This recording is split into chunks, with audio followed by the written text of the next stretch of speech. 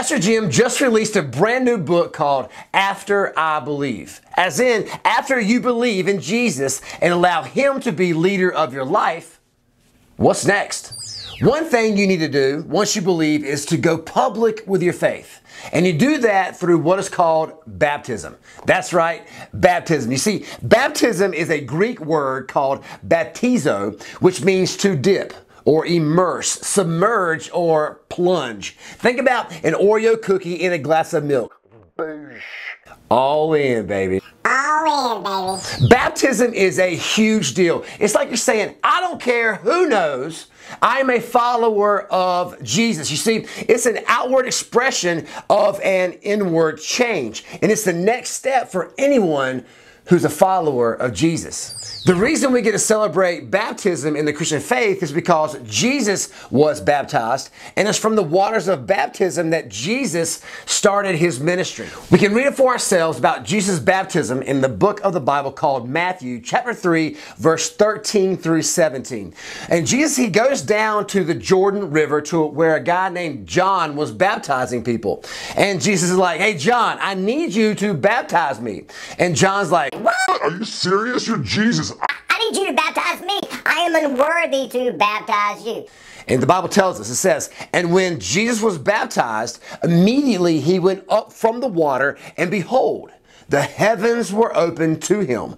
And he saw the Spirit of God descending like a dove and coming to rest on him.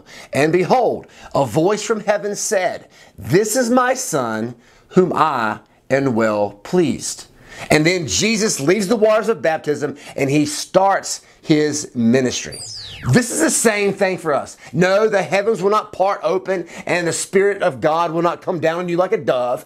But baptism, it does mark us physically going all in. Like, think about jumping off a, a diving board with a cannonball into the pool. You're going all in, all in our life as being like Jesus as a Christ follower. Here at MAC, we'll be having baptism on March 28th. And if you have never been baptized before, then this is your chance to go public with your faith. Here's how baptism works. You'll wear your swimsuit underneath your shorts and your t-shirt. There'll be a container full of water with steps going in and out of it. You'll get in line with other folks that want to go public with their faith as well. And when it's your turn, you will walk up the stairs into the pool of water. Pastor Jim will take you by the hand and sit you on a bench underneath the water. And then he will ask you, is it your desire to be baptized in the Christian faith? And you will say, yes, it is. And he will say, then I baptize you in the name of the Father, the Son, and the Holy Spirit. He'll dunk you underwater, bring you back up, and we will all cheer like crazy because you just got baptized. So go to mecklenburg.org and click on the baptism link for more details. And also listen to the sound bites of Pastor Jim answering questions to the most frequently asked questions about baptism. So let me ask you. If you're a follower of Jesus and you have never been baptized before, what do you say? Because in a few weeks, you can do just that. And this is something that you do after you believe. Let's pray.